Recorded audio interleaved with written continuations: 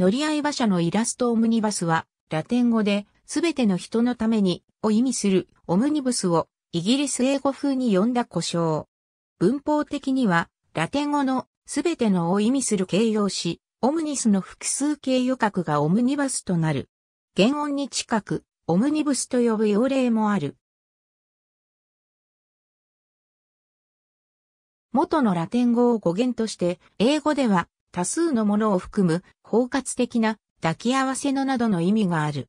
また、ラテン語から派生して、近世のフランスで乗り合い馬車のことをこう呼んだことから、1826年以降は乗り合い馬車の意味も加わった。その後、乗り合い馬車が乗り合い自動車にとって変わったことから、省略系のバスが公共交通機関のバスの語源ともなった。このページは曖昧さ回避のためのページです。一つの語句が複数の意味、職能を有する場合の水先案内のために異なる用法を一覧にしてあります。お探しの用語に一番近い記事を選んでください。このページへリンクしているページを見つけたら、リンクを適切な項目に貼り替えてください。ありがとうございます。